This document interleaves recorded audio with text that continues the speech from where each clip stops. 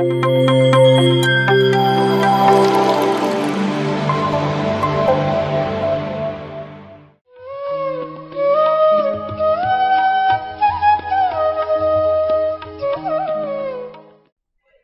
ನನ್ನ ಪ್ರಣಾಮಗಳು. ನಮ್ಮ ಬ್ರಹ್ಮರ್ಷಿ ಪಿತಾಮಹ, ನಮ್ಮ ಸ್ಪಿರಿಚುವಲ್ ಆಧ್ಯಾತ್ಮಿಕ ಮಾಸ್ಟರ್ ಆಗಿದ್ದವರು ವಿಜನರಿ ಮಾಸ್ಟರ್ ಆಗಿದ್ದವರು ಪತ್ರಿಜಿ ಸರ್ ಅವರಿಗೆ ನನ್ನ ಕೋಟಿ ಕೋಟಿ ಅಭಿನಂದನೆಗಳು. ಅವರಿಗೆ ನಾನು ತುಂಬ ತುಂಬ ಅಂದರೆ ತುಂಬ ಕೋಟಿ ಕೋಟಿ ನಾನು ಧನ್ಯವಾದಗಳನ್ನು ಅವರಿಗೆ ತಿಳಿಸುತ್ತೇನೆ. ನನ್ನ ಹೆಸರು ಸಹನಾ ಮಲ್ಲಪ್ಪ ಕಂಕನ್ವಾಡಿ. ನಾನು ಗೋಕಾಕ್ ತಾಲೂಕು ಡಿಸ್ಟ್ರಿಕ್ಟ್ ಬೆಲ್ಗಮ್ದಿಂದ ನಾನು ಇಲ್ಲಿ ಬಂದಿದ್ದೇನೆ. ನನಗೆ ಧ್ಯಾನದ ಧ್ಯಾನ ಬಗ್ಗೆ ನನಗೆ ಫಸ್ಟಾಗಿ ಗೊತ್ತಿರಲಿಲ್ಲ. ಧ್ಯಾನ ಅಂದರೆ ಏನು? ಫಸ್ಟ್ ನಾವು ಚಿಕ್ಕವರಿದ್ದಾಗ ನಾವು ಧ್ಯಾನ ಅಂದರೆ ಸರಿಯಾಗಿ ಗೊತ್ತಿರಲಿಲ್ಲ. ಮೆಡಿಟೇಷನ್ ಅಂದರೆ ಏನು? ಮೆಡಿಟೇಷನ್ ನಮ್ಮ ಸ್ಕೂಲ್ಗಳೆಲ್ಲ ಹೇಳ್ದ, ಹೇಳಿದ ಹಾಗೆ ಬರೀ ಹೀಗೆ ಕೂತ್ಕೊಳ್ಳೋದು, ಹೀಗೆ ಕೂತ್ಕೊಂಡು ಬರೀ ಕಣ್ಣು ಮುಚ್ಕೊಂಡು ಬ ಅಷ್ಟೇ ನಮಗೆ ಅದ್ರ ಬಗ್ಗೆ ಗೊತ್ತಿತ್ತು. ಆಮೇಲೆ ಅದ್ರ ಅದರ ಅರ್ಥ ಏನು? ಅದನ್ನ ನಾವು ಯಾಕೆ ಮಾಡಬೇಕು? ಅದನ್ನು ಮಾಡಿದ್ರೆ ನಮಗೆ ಏನು ಸಿಗತ್ತೆ? ಅದರ ಬಗ್ಗೆ ನಮಗೆ ಏನೂ ಗೊತ್ತಿರಲಿಲ್ಲ. ಸೊ ನಮ್ಗೆ ಈ ಧ್ಯಾನ ಅಂದರೆ ಏನು? ಮತ್ತು ಇದನ್ನು ನಾವು ಮಾಡಿದ್ರೆ ನಮಗೆ ಏನು ಸಿಗತ್ತೆ? ಇದೆಲ್ಲ ನನಗೆ ಗೊತ್ತಾಗಿದ್ದು ಟೂ ಮಂತ್ಸ್ ಬ್ಯಾಕ್ ಬ್ಯಾಕಲ್ಲಿ ನಾವು ನಮ್ಮ ಪಾಪ ಆರ್ಮಿನಲ್ಲಿ ಇದ್ದು, ಆಮೇಲೆ ಅವ್ರು ರಿಟೈರ್ಡ್ ಆಗ್ಬೇಕು ನಾವು ಇಲ್ಲಿ ಗೋಕಾಕ್ನಲ್ಲಿ ಬಂದು ಇದ್ದಿದ್ದೀವಿ. ಹಾಗ ಹೀಗಾಗಿ ನಮ್ಮ ಮನೆ ಪಕ್ಕ ಒಂದು ನಮಗೆ ಗುರೂಜಿ ಸಿಕ್ಕರು ಅವರು ಹೇಗೆ ನಮಗೆ ಯಾವ ಜನ್ಮದ ಪುಣ್ಯ ಅಂದರೆ ನಮಗೆ ಗೊತ್ತಿಲ್ಲ. ಅವರು ನಮಗೆ ಸಿಕ್ಕರು ಮತ್ತು ಹೀಗೆ ಮಾತಾಡ್ಕೊತ, ಹೀಗೆ ಹೇಳ್ಕೊತ ಅವ್ರು ಬಂತಿದ್ರು. ಆವಾಗ ಅವರು ನಮಗೆ ಧ್ಯಾನದ ಬಗ್ಗೆ ಹೇಳಿದರು. ಧ್ಯಾನ ಯಾಕೆ ಮಾಡಬೇಕು? ನಾವು ಮಾಡಿದ್ರೆ ನಮಗೆ ಬ, ತುಂಬ ಅದರ ಪುಣ್ಯ ಸಿಗತ್ತೆ, ಅದರ ಎನರ್ಜಿ ಸಿಗತ್ತೆ. ಮತ್ತು ನಾವು ಇದು ಮಾಡ್ಕೊತ ಹೋದರೆ ನಮ್ಮ ಜೀವನ ಸಾರ್ಥಕವಾಗುತ್ತೆ ಅಂತ ಅವ್ರು ಹೇಳಿದರು. ಫಸ್ಟಿಗೆ ನಾವು ಯಾರೂ ಗಮನ ಕೊಟ್ಟಿರಲಿಲ್ಲ. ಇದೇನು ಬಿಡು, ಧ್ಯಾನ ಏನಿರುತ್ತೆ ನಮ್ಮ ಕೆಲಸ ಇಷ್ಟೆಲ್ಲ ಇರುತ್ತೆ ಬಿಸ್ನೆಸ್ ಇರುತ್ತೆ, ನಮ್ಮ ನಮ್ಮ, ನಾವು ಮಾಡಿದರೆ ನಮಗೆ ಏನು ಸಿಗತ್ತೆ, ಮತ್ತು ನಾವು ರೊಕ್ಕ ಗಳಿಸ್ಬೇಕಾಗಿರತ್ತೆ, ಇದೆಲ್ಲ ನಮಗೆ ಚಿಂತೆ ಇರುತ್ತೆ. ಆದರೆ ನಾವು ಧ್ಯಾನ ಬಗ್ಗೆ ಧ್ಯಾನನೇ ಕ ಕೊಟ್ಟಿರಲಿಲ್ಲ. ಅದ್ರ ಬಗ್ಗೆ ಗಮನನೇ ಇದ್ದಿರಲಿಲ್ಲ ನಮಗೆ. ಆದರೆ ಒಂದು ಸಾರಿ July twenty four two thousand twenty two ಅಲ್ಲಿ ಅವರು ಉದಯ ಸರ್ ಅಂತ ಅವರು ದ ಅದು ಪತ್ರಿಜಿ ಸರ್ ಅವರ ಫೋಟೋ ಇಟ್ಟು ಒಂದು ಕ್ಯಾಂಡಲ್ ಹಚ್ಚಿ ಅವರ ಒಂದು ಪೂಜೆಯನ್ನು ಮಾಡ್ತಿದ್ರು. ಅವಾಗ ನಮ್ಮ ಪಪ್ಪನ ಮತ್ತು ನಮ್ಮೆಲ್ಲರನ್ನು ಅವರು ಕರೆದಿದ್ರು. ಆಗ ಅವರು ಹೇಳಿದ್ರು, ಇವರು ನಮ್ಮ ಬ್ರಹ್ಮರ್ಷಿ ಪಿತಾಮಹ ಪತ್ರಿಜಿ ಅಂತ. ಇವರು ಇಡೀ, ಈ ಪ್ರಪಂಚಕ್ಕೆ ಧ್ಯಾನವನ್ನು ಹಂಚೋದು. ಮೊದಲು ಅವರು ಸ್ಟಾರ್ಟ್ ಮಾಡಿದ್ದು ಕರ್ನೂಲ್, ಹೈದರಾಬಾದಲ್ಲಿ. ಆಮೇಲೆ ಅವರು ಅದು, ಅದ್ರ ಬಗ್ಗೆ ತಿಳ್ಕೊಂಡು ಮತ್ತು ಅದ್ರ ಬಗ್ಗೆ ಎಲ್ಲ ಮಾಹಿತಿಗಳನ್ನು ತಗೊಂಡು ಮತ್ತು ಅವರು ಫಸ್ಟ್ ಆಗಿ ಮಾಡಿ ನಲ್ವತ್ತು ವರ್ಷ ಶ್ರಮ ಪಟ್ಟು ಆಮೇಲೆ ಮುಂದೆ ಬರುವಂಥ ಎಲ್ಲವನ್ನು ಎದುರಿಸ್ಕೊಂಡು ಮೊದಲು ತಾವು ಕಲಿತು, ಮೊದಲು ಕುಂತು, ಕು ಕಲಿತು, ಆಮೇಲೆ ಜನಕ್ಕೆ ಎಲ್ಲ ಹೇಳಿಕೊಟ್ಟು ಇದೆಲ್ಲ ಮಾಡಿದ್ದಾರೆ. ಆದರೆ ಇವತ್ತು ಅವರು ದೇಹ ತ್ಯಾಗ ಮಾಡಿದ್ದಾರೆ. ಜುಲೈ ಟ್ವೆಂಟಿ ಫೋರ್ ದಿನ ಅಂತ ಅವರು ಹೇಳಿ ನಮಗೆ ಹೇಳ್ತಿದ್ರು. ಆವಾಗ ನಮಗೆ ನಾವು ಆಗೂ ಕೂಡ ನಾವು ಹೆಚ್ಚು ಧ್ಯಾನ ಕೊಟ್ಟಿರಲಿಲ್ಲ. ಹೌದು, ಇವರು ಏನಾದರೂ ಇರ್ಬೋದು ಫೌಂಡರ್ ಆಗಿರ್ಬೋದು, ಇವರೊಂದು ಸೈಂಟಿಸ್ಟ್ ಸ್ಪಿರಿಚುವಲ್ ಸೈಂಟಿಸ್ಟ್ ಆಗಿರ್ಬೋದು ಅಂತ ನಾವು ಅಷ್ಟೇ ಗಮನ ಕೊಟ್ಟಿದ್ದು. ಆ ದಿನದಿಂದ ನಾವು ಸ್ಟಾರ್ಟ್ ಮಾಡಿದ್ದು ಧ್ಯಾನವನ್ನು. ಧ್ಯಾನ, ಅವರು ಸ್ವಲ್ಪ ಸ್ವಲ್ಪ ಆಗಿ ನಾವು ತಿಳ್ಕೊತ ಬಂದ್ವಿ. ಆಮೇಲೆ ಉಸಿರು ಕಡೆ ಗಮನ ಕೊಡಬೇಕು ಅಂತ ತಿಳ್ಕೊಂಡ್ವಿ. ಆಮೇಲೆ ಡೈಲಿ ನಾವು ಮೊದಲು ಒಂದು ಟೆನ್ ಮಿನಿಟ್ಸ್ಗೆ ನಾವು ಮೆಡಿಟೇಷನನ್ನು ಸ್ಟಾರ್ಟ್ ಮಾಡಿದ್ವಿ. ಆಗ ಬರ್ತಾ ಬರ್ತಾ ನಾವು ಧ್ಯಾನ ಮಾಡಿದ್ರೆ ನಮ್ಗೆ ಏನೆಲ್ಲ ಸಿಗತ್ತೆ, ನಮಗೆ ಖುಷಿಯೆಲ್ಲ ಸಿಗತ್ತೆ, ಎನರ್ಜಿ ಸಿಗತ್ತೆ, ನಾವು ಏನು ಮಾಡ್ಬೇಕು ಅಂದ್ಕೊಂಡಿದ್ವಿ ಅದೆಲ್ಲ ನಮಗೆ ಸಾರ್ಥ ಆಗತ್ತೆ ಅಂತ ನಾವು ತಿಳ್ಕೊತ ಬಂದ್ವಿ. ಸೊ ಹಾಗಾಗಿ ನಮ್ಮ ಬ್ರಹ್ಮರ್ಷಿ ಪಿತಾಮಹ ಪತ್ರಿಜಿ ಅವ್ರಿಗೆ ಎಷ್ಟು ಧನ್ಯವಾದ ಹೇಳಿದ್ರು ನಾವು ಕಡಿಮೆನೆ ಯಾಕಂದರೆ ಅವರು ದಾರಿ ತೋರಿಸಿದ್ದ ಮಾರ್ಗದಲ್ಲಿ ನಾವು ಇವತ್ತು ನಡೀತಿದ್ದೀವಿ. ಅವರು ನಮಗೆ ಗೊತ್ತಿರಲಿಲ್ಲ ಅಂದರೆ ನಾವು ಇಲ್ಲಿ ಇರ್ತಿರ್ಲಿಲ್ಲ. ನಾನು ಇಲ್ಲಿ ನಿಮ್ಮ ಮುಂದೆ ಕುಂತ್ಕೊಂಡು ಮಾತಾಡೋಕ್ಕೆ ಆಗ್ತಿರ್ಲಿಲ್ಲ. ಯಾಕಂದರೆ ಅವ್ರ ಬಗ್ಗೆ ನಾವು ತಿಳ್ಕೊಂಡ್ವಿ, ಮತ್ತು ಧ್ಯಾನವನ್ನು ತಿಳ್ಕೊಂಡ್ವಿ. ಆಮೇಲೆ ಇನ್ನೂ ಹೆಚ್ಚು ಹೆಚ್ಚು ಜನಕ್ಕೆ ನಾವು ಇದನ್ನ ತಿಳಿಸ್ಕೊಂಡ್ರೆ ಇಡೀ ಪ್ರಪಂಚನೇ ಧ್ಯಾನಗಳು ಆಗಬೇಕು. ಧ್ಯಾನಿಯರು ಆಗಬೇಕು, ಬುದ್ಧಿವಂತರಾಗಬೇಕು. ಮತ್ತು ನಮ್ಮ ಮಹಾತ್ಮ ಬುದ್ಧರ ಹಾಗೆ ಅವರು ಸಂಕಲ್ಪ ಏನಿತ್ತು, ಅವರು ಅಂದ್ಕೊಂಡಿದ್ದು ಏನಿತ್ತು, ಅದನ್ನೆಲ್ಲ ನಾವು ಸಾರ್ಥಕ ಮಾಡೋಣ. ಯಾಕಂದರೆ ನಾವು ಜೀವನದಲ್ಲಿ ಬಂದಿದ್ದೇ ಇರೋ ಇದಕ್ಕೆ. ನಾವು ನಮ್ಮ ಬಗ್ಗೆ ತಿಳ್ಕೊಳ್ಳೋಣ ಫಸ್ಟಾಗಿ ನಾವು ನಮ್ಮ ಬಗ್ಗೆ ತಿಳ್ಕೊಂಡ್ರೇ ಈ ಇಡೀ ಪ್ರಪಂಚ ನಮಗೆ ತಿಳಿಯತ್ತೆ. ಸೊ ಇದೆಲ್ಲ ಆದ ಬಳಕೆ ನಮಗೆ ಗೊತ್ತಾಗಿದ್ದು ಒಂದು ಸ್ಟೀಲ್ನೆಸ್ ರಿಟ್ರೀಟ್ ಅಂತ ನಡೆಯುತ್ತೆ ಬ್ಯಾಂಗ್ಳೂರಲ್ಲಿ. ಪಿರಾಮಿಡ್ ವ್ಯಾಲಿ ಇಂಟರ್ನ್ಯಾಷನಲ್ ಅಂತ ಇದೆ. ಸೊ, ಫಿಫ್ತ್ ಬ್ಯಾಚಿಗೆ ನಮ್ಮ ಮಮ್ಮಿ, ಡ್ಯಾಡಿ ಬಂದಿದ್ದರು ಆಮೇಲೆ ಅವ್ರ ಜೊತೆ ನಮ್ಮ ಕೆಲವೊಬ್ರು ಜನ ಮತ್ತು ಫ್ರೆಂಡ್ಸ್ ಅವರೆಲ್ಲ ಕರ್ಕೊಂಡು ಬಂದಿದ್ವಿ. ಹಾ, ಆಗ ನಾನು ಎಕ್ಸಾಮ್ ಇತ್ತು. ಆಗ ನಂಗೆ ಬರೋಕ್ಕಾಗಲಿಲ್ಲ ಮತ್ತು ನಾನು ಅಲ್ಲೇ ನಮ್ಮ ಅಜ್ಜ, ಅಜ್ಜಿ ಜೋಡೆ ಅಲ್ಲೇ ಇದ್ದು ಮತ್ತು ಹಾಗೆ ಯಾವಾಗ ಅವ್ರಿಗೆ ಫ ಟೈಮ್ ಸಿಗತ್ತೆ ಅವ್ರು ನಂಗೆ ಫೋನ್ ಮಾಡಿ ಹೇಳ್ತಿದ್ರು, ಧ್ಯಾನ ಮಾಡು, ಇದೆಲ್ಲ ಮಾಡು ಅಂತ. ಆಗ ನನ್ನ ಗಮನನೂ ಕೊಟ್ಟಿರ್ಕಿಲ್ಲ. ಆಮೇಲೆ ಅವ್ರು ಬಂದು ಬರೋಕ್ಕೆ ಹೇಳಿದರು. ನೀನು ನೆಕ್ಸ್ಟ್ ಬ್ಯಾಚ್ಗೆ ನೀನು ಬರಲೇಬೇಕು. ಯಾಕಂದರೆ ಇದನ್ನ ತಿಳ್ಕೊಂಡ್ರೇ ನಮಗೆ ಗೊತ್ತಾಗೋದು ಇದ್ರ ಬಗ್ಗೆ ಏನು, ಇದ್ರ ಇಂಪಾರ್ಟೆನ್ಸ್ ಏನು why we should think about it why we should take this so ಇದೆಲ್ಲ ನಾನು ತಿಳ್ಕೊಂಡ್ವಿ. ಆಮೇಲೆ ಇದು ಸಿಕ್ಸ್ತ್ ಬ್ಯಾಚಿಗೆ ನಾನಿಲ್ಲಿ ಬಂದಿರೋದು. ಈಗ ಕೂಡ ನಮ್ಮ ಸ್ಕೂಲ್ ಸ್ಟಾರ್ಟ್ ಆಗಿದೆ. ಮತ್ತೆ ಸ್ಕೂಲೆಲ್ಲ ನಡೀತಿದೆ, ಆದರೆ ನಾನು ಒಂದು ದೃಢ ನಿರ್ಧಾರವನ್ನು ತಗೊಂಡೆ ನಾನು. ಹಾಂ ನಾನು ಹೋಗಲೇಬೇಕು, ನಾನು ಕಲೀಲೇಬೇಕು. ಯಾಕಂದರೆ ಜ್ಞಾನವನ್ನು ಸಿಗೋದು ಎಲ್ಲ ಕಡೆ ಸಿಗಲ್ಲ ಅದು. ಕೆಲವೊಂದು ಮಾತ್ರ ಕೇಂದ್ರಗಳಿರತ್ತೆ, ಅಲ್ಲೇ ನಾವು ಜ್ಞಾನವನ್ನು ಪಡ್ಕೊಳ್ತೀವಿ ನಮ್ಮ ದೊಡ್ಡವರಿಂದ. ಮತ್ತು ಸ್ಕೂಲ್ಗಳಲ್ಲಿ ಸಿಗೋಂಥ ಜ್ಞಾನ ನಮಗೆ ಸಿಗತ್ತೆ ಬೇರೆ ಕಡೆ. ಆದರೆ ಇಲ್ಲಿ ಸಿಕ್ಕ ಸಿಕ್ಕಿದಂಥ ಜ್ಞಾನ ನಮಗೆ ತುಂಬ ಮುಖ್ಯ. ಇದನ್ನು ನಾವು ಫಸ್ಟ್ ಕಲಿತ್ ಕಲ್ತಿದ್ದೇ ಇದು ಫಸ್ಟ್ ಟೈಮ್ ನಮಗೆ. ಸಿಕ್ಸ್ತ್ ಬ್ಯಾಚ್ ಈಗ ನಡೆಯುತ್ತೆ ಅಂತ ನಮ್ಮ ಪೇರೆಂಟ್ಸ್ ನನಗೆ ಹೇಳಿದರು. ಈ ಬ್ಯಾಚಲ್ಲಿ ನಡೆಯುತ್ತೆ. ಸೆವೆನ್ ಡೇಸ್ ಅನ್ನೋ ಒಂದು ಕೋರ್ಸ್ ಇರುತ್ತೆ ಕ್ಲಾಸ್ ಇರುತ್ತೆ. ಅಲ್ಲಿ ನಮಗೆ ಧ್ಯಾನ ಮತ್ತು ಪಿರಮಿಡ್ ಶಕ್ತಿ ಮತ್ತು ಪತ್ರಿಜಿ ಸರ್ ಅವ್ರ ಬಗ್ಗೆ ಎಲ್ಲವನ್ನು ಇಲ್ಲಿ ಗೊತ್ತಾಗತ್ತೆ ಅಂತ ನಮಗೆ ಗೊತ್ತಾಯಿತು. ಆಮೇಲೆ ನಾನು ಥಿಂಕ್ ಮಾಡಿದೆ ಫಸ್ಟು ನಾ, ನಾವು ಈಗ ಸ್ಟಡಿ ಮಾಡ್ತಿರ್ತೀವಿ ಎಜುಕೇಷನನ್ನು ಮಾಡ್ತಿರ್ತೀವಿ. ನಾವು ಹುಟ್ಟಿದಾಗಿಂದ್ರೆ ನಾವು ಕಲಿತಾ ಇರ್ತೀವಿ. ಹಾಗಾದರೆ ನಮ್ಮ ಪೇರೆಂಟ್ಸ್ ಏನು ಹೇಳ್ತಿದ್ದಾರೆ. ಅದ್ರ ಕಡೆನೂ ಒಂದ್ಸಲ ನಾವು ಥಿಂಕ್ ಮಾಡಿ ನೋಡೋಣ, ಇದು ಏನಿರತ್ತೆ, ಮತ್ತು ಒಂದು ಟ್ರೈ ಮಾಡಿ ನೋಡೋಣ ಏನಾಗತ್ತೆ ಅಂತ ನಾನು ನಿಶ್, ನಿರ್ಧಾರ ಮಾಡಿದೆ. ನಾನು ಇಲ್ಲಿ ಹೋಗ್ತೀನಿ, ಮತ್ತು ತಿಳ್ಕೊಂಡು ಜ್ಞಾನವನ್ನು ಪಡ್ಕೊಂಡು ಬಂದು, ಮತ್ತೆ ನಮ್ಮ ಫ್ರೆಂಡ್ಸ್ಗಾಗಲಿ ನಮ್ಮ ಟೀಚರ್ಸ್ಗಾಗಲಿ ಮತ್ತು ಚಿಕ್ಕ ಮಕ್ಳಿಗಾಗಲಿ, ಯಾರೇ ಆಗಿರಲಿ ನನಗೇನು ಜ್ಞಾನ ಬಂದಿದೆ, ನಾನು ಏನು ತಿಳ್ಕೊಂಡಿದ್ದೀನಿ ಅನ್ನೋ ಎಲ್ಲರಿಗೂ ಹೇಳ್ಕೊಡ್ಬೇಕು ಅಂತ ನಾನು ಅಷ್ಟು ತಿಳ್ಕೊಂಡು ಬಂದಿದ್ದೇನೆ.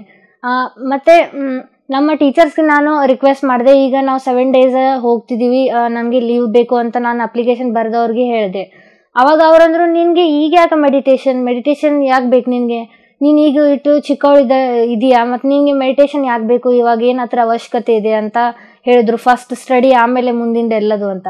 ನಾನು ಹೇಳಿದೆ ಅವ್ರಿಗೆ ಮ್ಯಾಮ್ ಇದು ನಾವು ಫೈವ್ ಇಯರ್ಸಿಂದ ನಾವು ಹುಟ್ಟಿದಾಗಿಂದ್ರ ನಮಗೆ ಜ್ಞಾನ ಮೆಡಿಟೇಷನ್ ಅಂದ್ರೇ ಜ್ಞಾನ. ಅದ್ರ ಬಗ್ಗೆ ನಮ್ಗೆ ಗೊತ್ತಿದ್ರೇ ನಾವು ಉಳ್ಕೋದು ಎಲ್ಲ ಮಾಡೋಕ್ಕೆ ಸಾಧ್ಯ.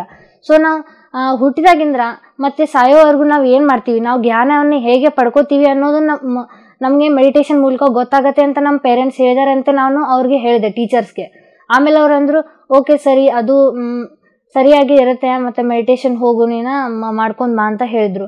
ಆಮೇಲೆ ಅಲ್ಲೇ ಹೇಳ್ಕೊಂಡು ನಾನು ಇಲ್ಲಿ ಬಂದೆ.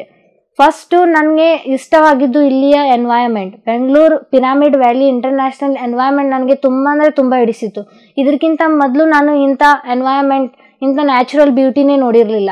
ಯಾಕಂದರೆ ಎಲ್ಲೇ ಹೋಗಿದ್ರು ಈ ಪಾಪ್ಯುಲೇಷನ್ ಆಗಿರಲಿ, ಈ ಕ್ರೌಡ್ ಆಗಿರಲಿ ಪೊಲ್ಯೂಷನ್ ಆಗಿರಲಿ, ಬರೀ ಇಂಥದ್ದೇ ನಾವು ಈ ವರ್ಡಲ್ಲಿ ನೋಡಿದ್ದು. ನೋಡಿದ್ದು ಬಿಟ್ಟರೆ ಇದು ಗ್ರೀನ್ ಅನ್ನೋದು ಮತ್ತು ಹೇಗೆ ನಮ್ಮ ಎನ್ವೈರ್ಮೆಂಟ್ ಎಷ್ಟು ಪಕ್ಷಿಗಳಿಂದ ಮತ್ತು ಅನಿಮಲ್ಸಿಂದ ತುಂಬಿರತ್ತೆ ಅಂತ ಇಲ್ಲಿ ಬಂದು ನಮಗೆ ಗೊತ್ತಾಗಿದ್ದು, ಮತ್ತು ಅದರ ಸುಗಂಧ, ಮತ್ತು ಅದರ ಒಂದು ಇಂಪಾರ್ಟೆನ್ಸ್ ಅದ್ರ ಹಿಂದಿಂದ ಬ್ಯೂಟಿ ಏನಿದೆ, ಅದೆಲ್ಲ ನಮಗೆ ಇಲ್ಲಿ ಬಂದು ತಿಳಿತು. ಮೊದಲು ದಿನನೇ ನಾನು ಅನ್ಕೊಂಡೆ ಇದು ಎಷ್ಟು ಚೆನ್ನಾಗಿದೆ ಇದನ್ನ ನಾವು ಮೊದಲೇ ಬಂದಿದ್ರೆ ಎಷ್ಟು ನಮಗೆ ಖುಷಿ ಆಗ್ತಿತ್ತು. ಮತ್ತು ನಾ ಇದನ್ನು ಅನ್ಕೊಂಡೆ, ನಾನು ಹಿಂದಿನ ಜನ್ಮದಿಂದ ಏನೋ ಪುಣ್ಯವಾಗಿ ಮಾಡಿರಬೇಕು, ಅದಕ್ಕೆ ನಾನು ಈ ಥರ ಈ ಒಂದು ಚೆನ್ನಾಗಿರುವಂಥ ಎನ್ವೈರ್ಮೆಂಟ್ ನೋಡೋಕ್ಕೆ ನಮಗೆ ಅವಕಾಶವನ್ನು ಸಿಕ್ಕಿತು.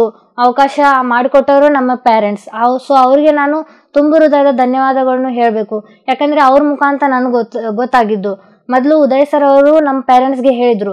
ಅವ್ರ ನಮ್ಮ ಪೇರೆಂಟ್ಸ್ ದಿಂದ ನನಗೆ ಗೊತ್ತಾಯಿತು. ಸೊ ಹಾಗಾಗಿ ನಾವು ಇಲ್ಲಿ ಬಂದ್ವಿ, ಮತ್ತು ಇಲ್ಲೆಲ್ಲ ತಿಳ್ಕೊಂಡ್ವಿ. ಮತ್ತೆ ನಮಗೆ ಗೊತ್ತಾಗಿದ್ದು ಪಿರಾಮಿಡ್ ಎನರ್ಜಿ. ಪಿರಾಮಿಡ್ ಅಂದ್ರೆ ಏನು? ಮೊದಲು ನಮ್ಗೆ ಸಮಾಧಿಯಲ್ಲಿ ಅಷ್ಟೇ ಕಟ್ಟಿರೋದು, ಅದಷ್ಟೇ ನಮ್ಗೆ ಗೊತ್ತಿತ್ತು. ಸ್ಕೂಲಲ್ಲಿ ಓದಿಸಿರೋದು ಅಷ್ಟೇ ಅದ್ರ ಬಗ್ಗೆ ಹೆಚ್ಚು, ಹೆಚ್ಚಾಗಿ ನಮಗೆ ಎನರ್ಜಿ ಹೇಗೆ ಸಿಗತ್ತೆ, ಅದ್ರ ಇಂಪಾರ್ಟೆನ್ಸ್ ಏನು, ಅದ್ರ ಹಿಂದಿಂದ ಏನು, ಅದ್ರ ಬಗ್ಗೆ ಎಲ್ಲ ಗೊತ್ತಿರಲಿಲ್ಲ. ಸೊ ಇಲ್ಲಿ ಬಂದ ಮೇಲೆ ನಮಗೆ ಅದ್ರ ಬಗ್ಗೆ ಎಲ್ಲ ತಿಳಿದಿದೆ. ಫಸ್ಟ್ ನಾನು ಇಲ್ಲಿ ಕಲ್ಕೊಂಡಿದ್ದು ನಮ್ಮ ಬ್ರೆದ್ ನಮ್ಮ ಬ್ರೀದ್ ನಮ್ಮ ಸಾಯೋವರೆಗೆ, ನಾವು ಜೀವಂತವಾಗಿ ಈ ಭೂಮಿ ಮೇಲೆ ಇರೋವರೆಗೆ ನಮ್ಮ ಜೊತೆನೇ ಇರುತ್ತೆ. ನಮ್ಮ ಜೊತೆಗೆ ಅದು ನಮ್ಮ ಬಾಡಿ ಜೊತೆ ಕನೆಕ್ಟ್ ಆಗಿರುತ್ತೆ. ಅದ್ರ ಬಗ್ಗೆ ನಾವು ಯಾವತ್ತೂ ಅದಕ್ಕೆ ಇಂಪಾರ್ಟೆನ್ಸೇ ಕೊಟ್ಟಿಲ್ಲ. ಇದು ಏನು ಅದ್ರ ಕೆಲಸ ಮಾಡತ್ತೆ, ನಾವು ನಮ್ಮ ಕೆಲಸ ಮಾಡೋಣ ಅಂತ ಅದ್ರ ಬಗ್ಗೆ ಗಮನನೇ ಕೊಟ್ಟಿರಲಿಲ್ಲ. ಇಲ್ಲಿ ಬಂದು ಫಸ್ಟ್ ತಿಳ್ಕೊಂಡಿದ್ದೆ ಅದೇ. ನಾವು ಉಸಿರಾಡ್ತಿರೋದು, ನಾವು ಬದುಕಿರೋ ಬದುಕಿರೋದಂದ್ರೆ ಅದೇ ಒಂದು ಕಾರಣ. ಅದನ್ನ ಬಿಟ್ಟರೆ ಬೇರೆ ಏನೂ ಇಲ್ಲ. ಉಸಿರು ಇಲ್ಲ ಅಂದರೆ ನಾವು ಇಲ್ಲ ಈ ಭೂಮಿ ಮೇಲೆ. ಸೊ ಫಸ್ಟ್ ತಿಳ್ಕೊಂಡಿದ್ದು ಅದೇ ನಾನು. ಬ್ರೀದ್ ಈಸ್ ಅವರ್ ಲೈಫ್ ಅಂತ. ಆಮೇಲೆ ಸೆಕೆಂಡ್ ಥಿಂಗ್ ನಾನು ತಿಳ್ಕೊಂಡಿರೋದು ಈ ಜೀವನದಲ್ಲಿ ನಾವು ಏಕೆ ಬಂದ್ವಿ? ನಮ್ಮ ಎರಡು ಇಂಪಾರ್ಟೆಂಟ್ ಥಿಂಗ್ಸ್ ಅದು ಏನು? ನಾನು ಮತ್ತು ಸಮಯ. ಇವೆರಡು ಥಿಂಗ್ಸ್ ನಮಗೆ ಗೊತ್ತಿದ್ರೆ ಥರ ಇಂಪಾರ್ಟೆನ್ಸ್ ನಮಗೆ ಗೊತ್ತಿದ್ರೆ ನಾವು ಈ ಜೀವನದಲ್ಲಿ ಏನು ಬೇಕಾದರೂ ಅಚೀವ್ ಮಾಡ್ಬೋದು.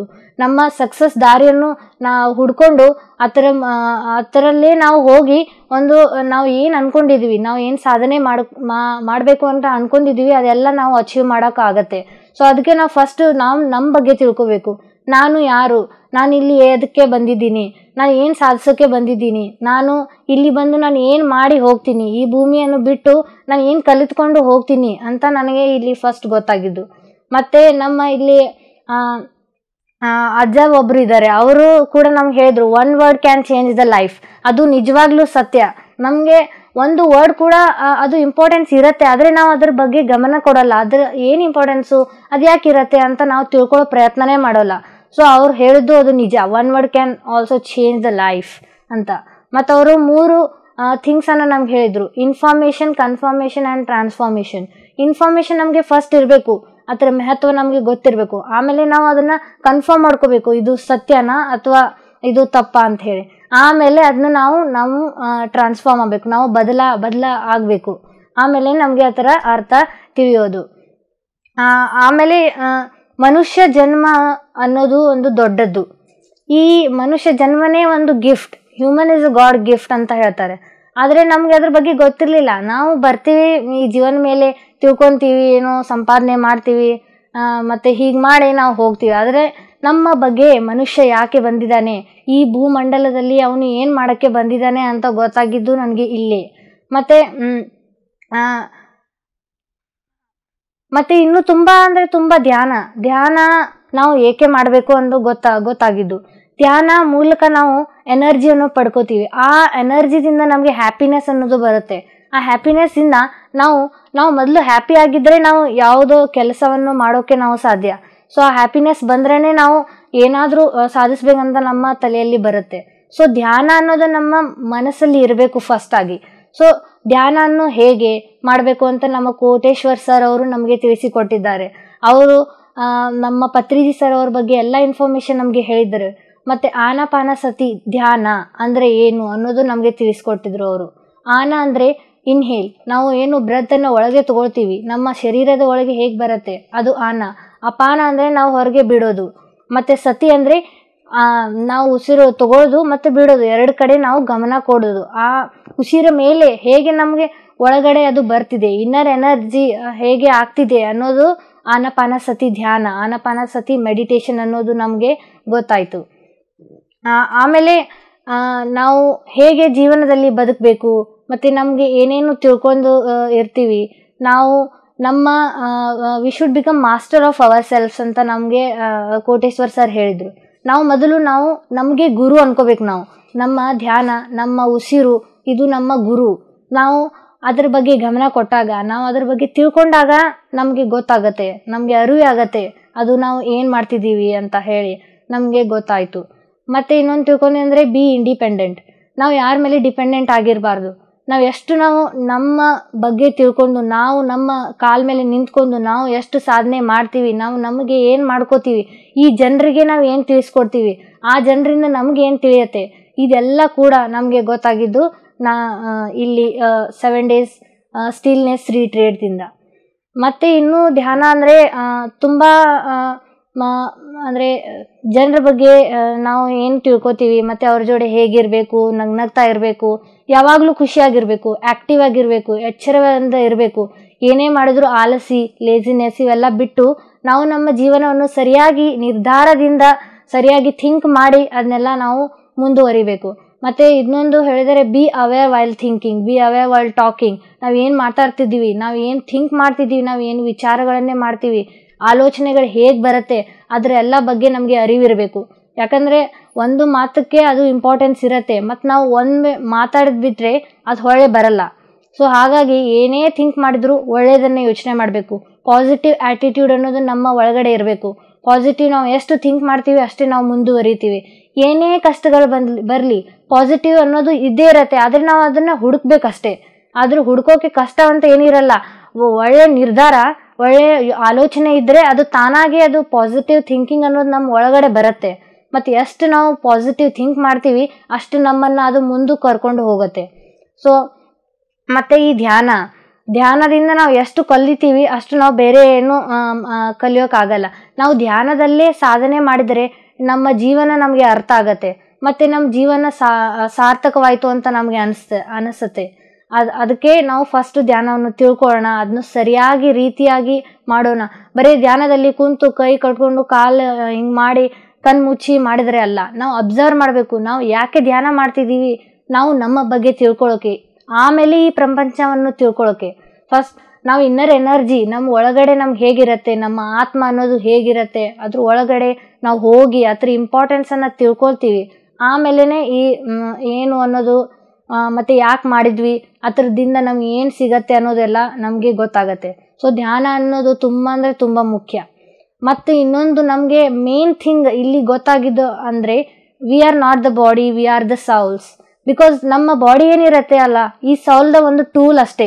ಬೆ ಯಾಕಂದರೆ ನಾವು ಮನಸ್ಸು, ನಾವು ಏನು ಆಲೋಚನೆ ಮಾಡ್ತೀವಿ, ನಾವು ಏನು ಹೇಳ್ತೀವಿ ಅದನ್ನು ನಮ್ಮ ದೇಹ ಕೇಳತ್ತೆ. ಮತ್ತು ನಮ್ಮ ಕೋಟೇಶ್ವರ್ ಸರಿಂದ ನಾವು ಇದನ್ನು ತಿಳ್ಕೊಂಡ್ವಿ our body listens to us our body listens our words and it do its works according to our breath according to our soul ಅಂತ ಹೇಳಿದರು. ಮತ್ತು ಯಾಕಂದರೆ ನಾವು ಏನು ಥಿಂಕ್ ಮಾಡ್ತೀವಿ, ನಾವು ಏನು ಅನ್ಕೊಳ್ತೀವಿ ಅದನ್ನೇ ನಾವು ನಮ್ಮ ದೇಹ ಮಾಡುತ್ತೆ. ಈಗ ನಾನು ಕೈ ಎತ್ತಬೇಕು ಅಂತ ಅನ್ಕೊಂಡ್ರೆ ನಾನು ಅನ್ಕೊಂಡ್ರೇ ನಾನು ಕೈ ಎತ್ತೋಕೆ ಸಾಧ್ಯ. ಯಾಕಂದರೆ ನಾನು ಸೌಲ್ ಕೇಳತ್ತೆ ಆ ಮಾತನ್ನು. ಆ ಸೌಲಲ್ಲಿ ತುಂಬ ಅಂದರೆ ತುಂಬ ಎನರ್ಜಿ ಇದೆ. ಈ ಸೌಲಿಗೆ ಎಂದಿಗೂ ಸಾವಿಲ್ಲ. ನಮ್ಮ ದೇಹಕ್ಕೆ ಸಾವಿದೆ, ಆದರೆ ನಮ್ಮ ಸೌಲಿಗೆ ಇಲ್ಲ. ಯಾಕಂದರೆ ಆ ಸೌಲು ಇರೋದೇ ಹಾಗೆ. ಅದು ತನ್ನ ಕೆಲಸವನ್ನು ಮಾಡುತ್ತೆ. ಮತ್ತು ನಾವು ಇದ್ರ ಬಗ್ಗೆ ಇಂಪಾರ್ಟೆನ್ಸ್ ತಿಳಿಬೇಕಂದ್ರೆ ಫಸ್ಟ್ ನಾವು ನಮ್ಮ ಬಗ್ಗೆ ಗೊತ್ತಾಗಬೇಕು. ನಾವು ಏಕೆ ಮಾಡ್ತೀವಿ, ನಾವು ಏಕೆ ತಿಳ್ಕೊಬೇಕು ಅನ್ನೋದು ನಮಗೆ ಫಸ್ಟ್ ಅರಿವಿರಬೇಕು. ನಾವು ಏನೇ ಮಾಡಿದರೂ, ಆ ಒಂದು ನಮ್ಮ ಒಳಗಡೆ ಪಾಸಿಟಿವ್ ಅನ್ನೋದು ಇರಬೇಕು. ಆ ಆಗ್ಲೇ ನಾವು ಎಲ್ಲವನ್ನು ತಿಳ್ಕೊಳ್ಳೋಕೆ ಸಾಧ್ಯ. ಮತ್ತು ನಾವು ಎಷ್ಟು ನಮ್ಮ ಬಗ್ಗೆ ಏನು ಹೇಗೆ ತಿಳ್ಕೊತೀವಿ, ಮತ್ತು ಜನರಿಗೆ ಹಂಚೋದು ಆಗಲಿ, ಏನೇ ಆಗಲಿ, ಒಳ್ಳೆಯದನ್ನು ಮಾಡಲಿ, ಮತ್ತು ವೆಜಿಟೇರಿಯನ್ ಆಗಿರಬೇಕು, ಇವೆಲ್ಲ ತಿಳ್ಕೊಂಡ್ವಿ. ಮತ್ತು ಪ್ರಾಣಿ ಹಿಂಸೆಯನ್ನು ಯಾವತ್ತಿಗೂ ಮಾಡಬಾರ್ದು, ನಾನ್ ಕಿಲ್ಲಿಂಗ್, ನಾನ್ ವೈಲೆನ್ಸ್ ಅನ್ನೋದು ನಮ್ಮ ಮನಸ್ಸಲ್ಲಿ ಇರಬೇಕು.